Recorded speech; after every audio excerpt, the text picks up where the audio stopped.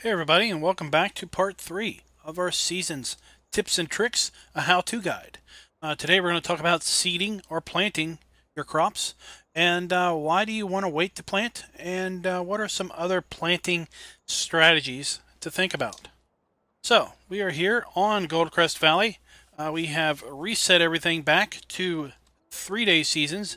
As you can see from Alt-S, we have three days in each particular season.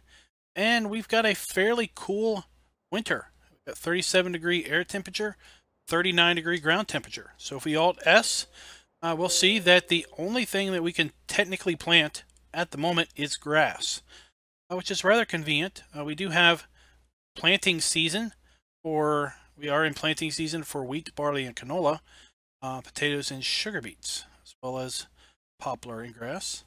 So we're going to go ahead and this is just the default planter is up here. Let's just tab over. There we go. So, what we're going to do is run down here to the farm and we're going to pick up some seed. And even though it is too cold to uh, to seed, technically, we're going to go ahead and put some seed in the ground uh, just to see what happens uh, if you happen to seed too early into the season.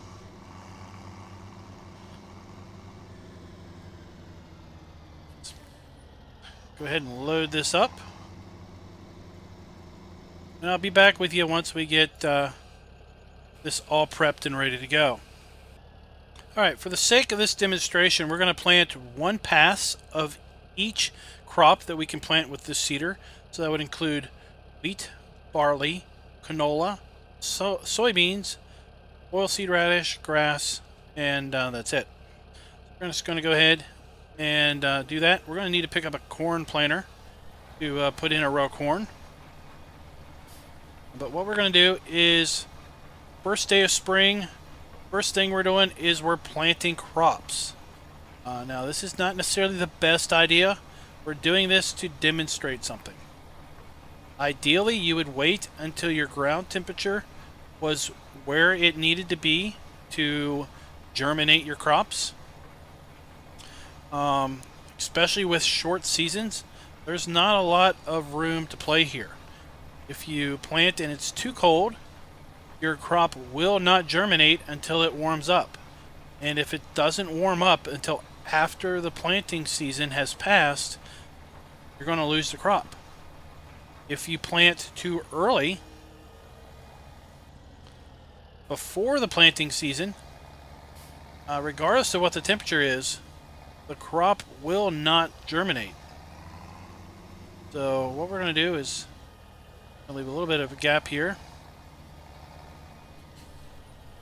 I probably should have brought in GPS just to cheat and make everything nice and straight. But uh, we'll freehand this. We're not going to save this particular game uh, beyond this demonstration. For other um, segments of the series, we'll have to come in here and do some prep work and everything. Uh, but this is just for the purpose of demonstrating why you want to wait and what you need to think about as far as uh, planning out your crops. So while we're planning this, let's talk about uh, planning out your crops. So what the big difference between seasons and vanilla game is that in the vanilla game you can plant any day of the year, you can harvest any day of the year uh, without any issue whatsoever. So you don't really need to plan anything out. If you all of a sudden realize that you're short on, say, soybeans, you can uh, plant a field of soybeans real quick. If you don't have a field ready, you can basically, at some point, very, very soon, you will have a field ready. You can plant soybeans in, and within probably two, one to three game days, depending on your growth rate, uh, you could have the soybeans ready to, to uh, harvest. And in fact, talking about growth rate, you can actually change the growth rate in the vanilla game. With seasons, you cannot change the growth rate. Once we get here to the end, I'll show you some things uh, that I kind of failed to show you at the uh, part one of the video series.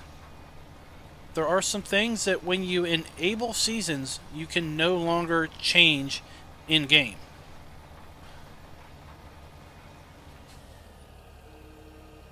So I don't forget. So let's look at that. Here we are at the main menu, plant growth. We cannot turn plant growth on or off. It is fixed. Set to off, but we can't change it. Plant withering, we cannot change. It is set to on. Um, so if you normally play with plant withering off, be aware if you don't harvest your plants at the right time, you will lose the, the crop. Uh, also, engine start is off. You may notice that when when I jump in the tractor, it doesn't start on its own. On easy and normal mode, I think it will start on its own. Uh, you have to hit enter to start the tractor up. You have to hit enter to shut the tractor off.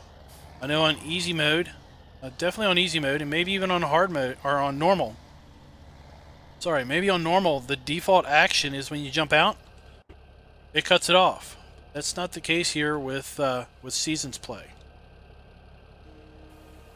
So we got wheat, barley, canola, sunflowers, not sunflowers, sorry, soybeans. We need to get another planter so that we can put sunflowers and corn in. What we're going to do is we're going to finish our passes and then we're going to fast forward time into mid-spring, late spring, and possibly even summer and see what happens to our crops. Um, what we should see is some of our crops should wither right in the ground uh, because it's too early to plant them. Other crops should uh, maybe come up if the ground temperature comes up in time. If not, uh, they'll just basically sit there in the ground and wait for the ground temperature to come up before they uh, germinate. We don't need to show oilseed radish or grass because we can already plant those. So what we're going to do is I'm going to go buy us a small row crop seeder and get that prepped up. Alright, we got ourselves a uh, little Amazon row crop planter. And uh, we're going to put in sunflowers and corn. Uh, with this,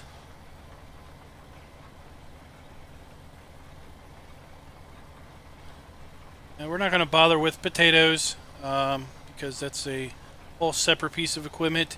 I think the demonstration here will uh, will suffice with these crops.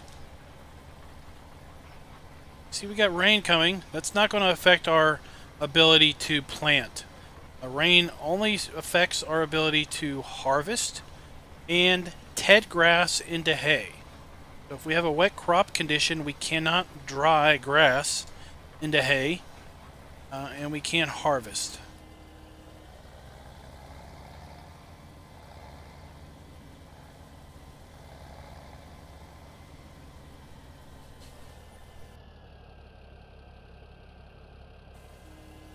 Right.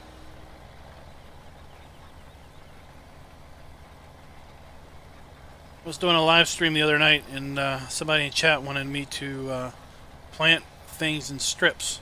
Well, here you go, buddy. Got ourselves stuff in strips. Know it's not exactly what you were asking for, but hey, works.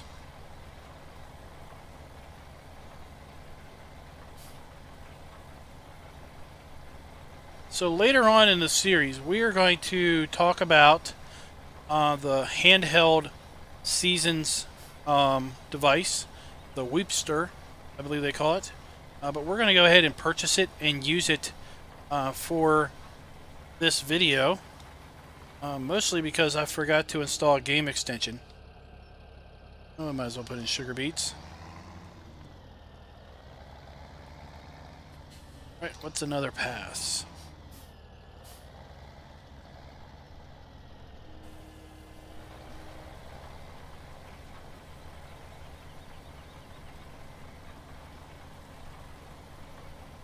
So what the Wopstr will do is it's like Game Extension Farmer's Touch in that it will allow us to get some specific information about each crop as well as uh, various other things. We're just going to use it in this demonstration for the crop information.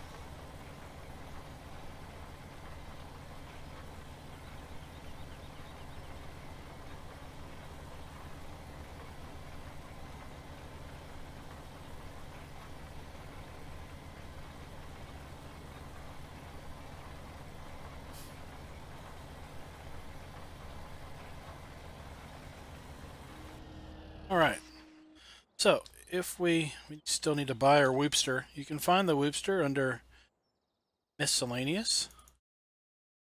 It's the Wopstr, and it acts just like the chainsaw. So if we point it at our crop, we hold the button down, we'll see that we have sugar beet. We have zero growth, 15% water temperature, 33% fertilization, and 10% moisture. corn, sunflowers, soybeans, canola, barley, and all right. So what we're going to do here is we're going to fast forward until tomorrow. Now let's take a look. First off, Remember, we have 41, 41, 41 for wheat, barley, and canola. Um, soybeans is 50. Sunflowers is 45. And corn is 50. Sugar beets are 41. Now notice that we technically shouldn't be planting um, sunflowers, soybeans, or corn yet. Okay, but we went ahead and did it. Let's fast forward into tomorrow. And with seasons, we have a skip night feature. So I didn't talk about that in the first episode.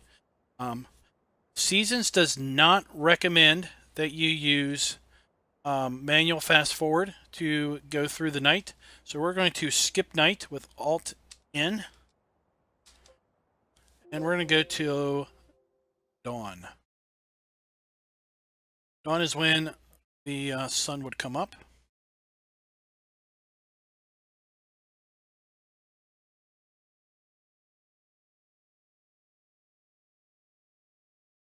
Waiting for various things to take effect. And now you'll notice that we have 41, 40, everything is white. Okay. So we have 45 degree ground temperature. We check here though. We still have no growth on our wheat. No growth on our barley. Canola. Uh, what is this? Soybeans, we have zero growth. Think this is withered. Let's check this. Sunflowers, withered. Corn. Interesting enough, we have corn growth. That does not make sense to me, any rate. And sugar beet. Let's check here. Let's zoom in. See our various crop lines. And let's see here, look. A couple of these are showing harvested. Not showing withered, showing harvested. The others are showing growing. Okay? So we have lost our sunflowers and our soybeans because we planted them too early. All right, so let's fast forward through another day.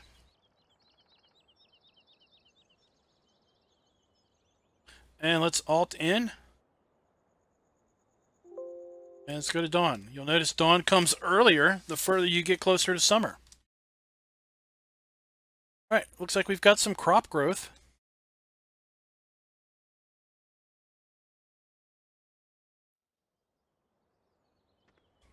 Here, this looks good. We've got 17% crop growth on our wheat and our barley. Here's our canola. Looks good. Again, these are withered. Corn is growing. I did not think corn would come up. And got ourselves sugar beets. All right. Let's go through it one more time.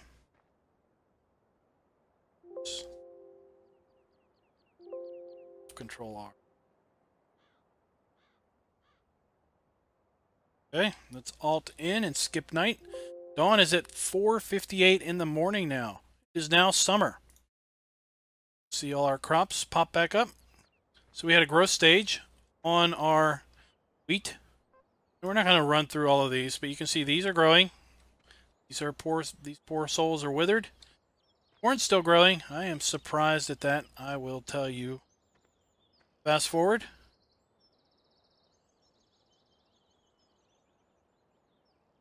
See, evening comes later in summer.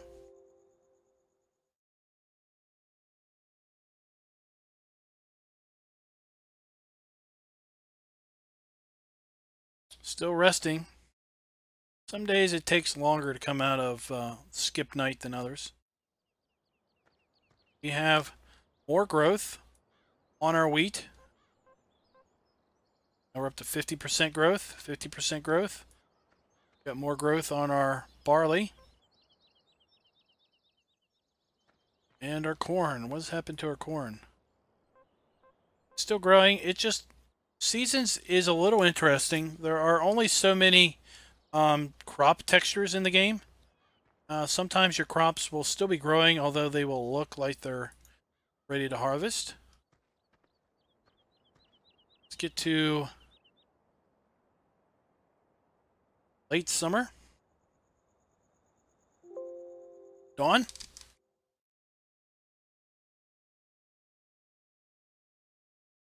Again, this is the default geo. If we were running, let's say, Midwest, we would have already been able to harvest probably our wheat and barley. Now we have wheat is almost ready. Canola is almost ready. And we can look at that by looking at our um, growth indicators.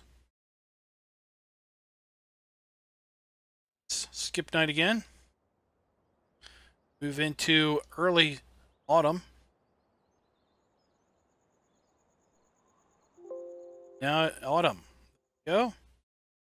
And autumn is the sun is coming up later. It's getting later in the day. We can now harvest our wheat, our barley, our canola.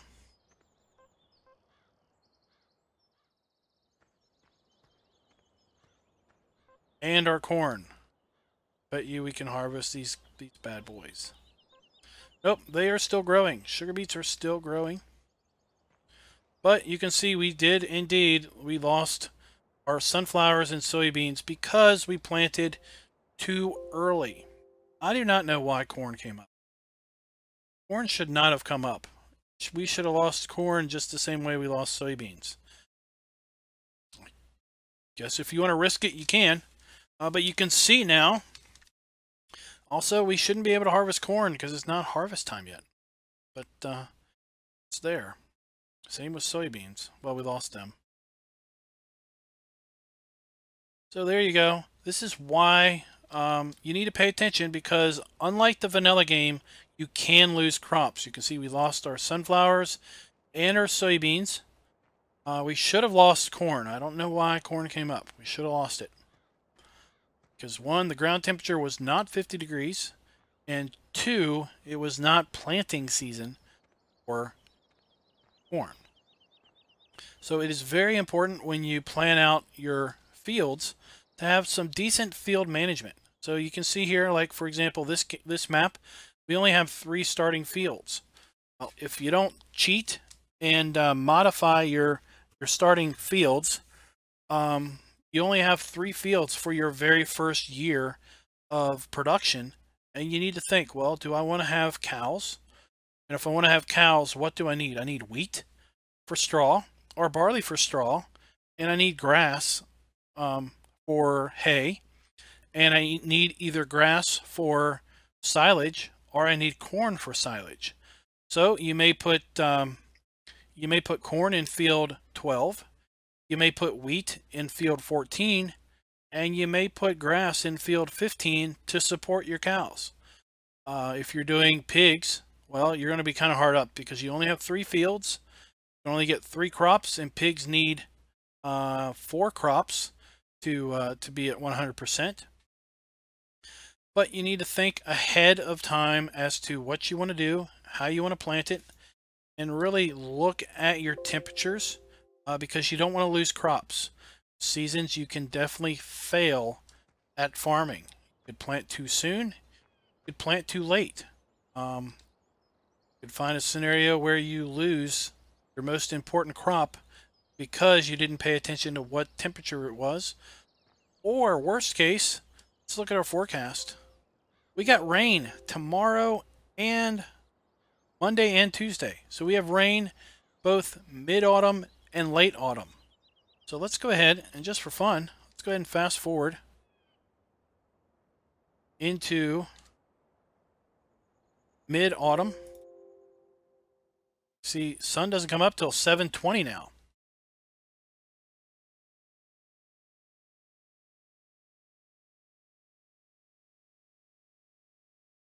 Right. So we have rain coming. Let's go ahead and fast forward. We got through most of the day there without rain, thankfully. Um, but what this is probably going to mean is the entire third day is probably going to be wet crop and rain. There we go. We rain stopped overnight, but now the rain has started again. And let's see how long we can go into the third day of autumn before we lose the wet crop indicator.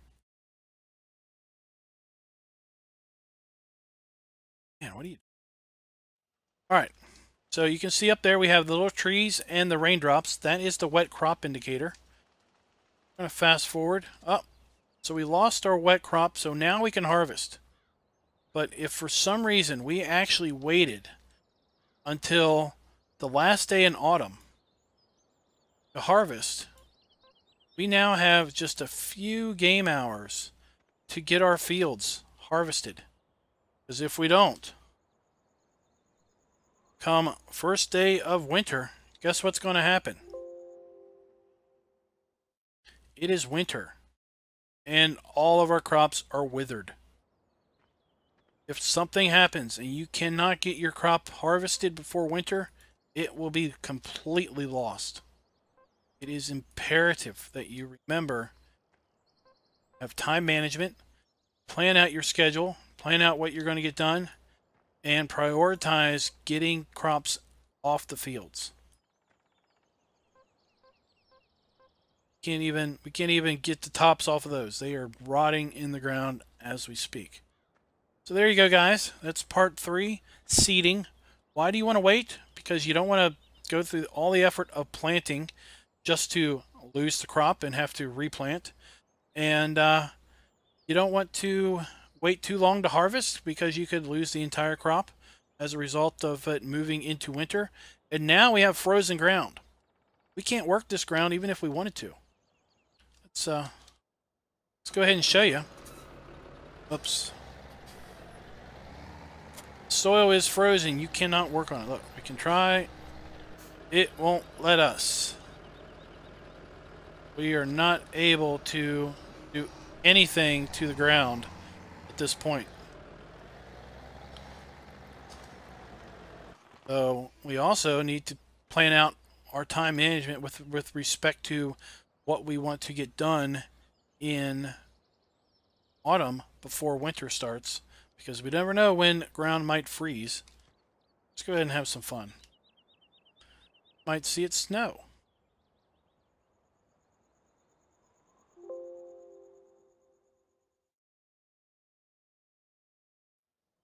But yet,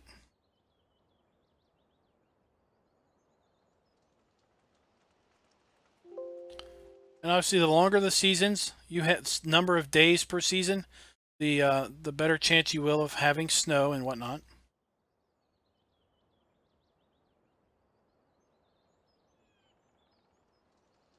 We went through the whole year without any snow with three-day seasons, and now we're back to spring. There you go. We'll come back for part four tomorrow.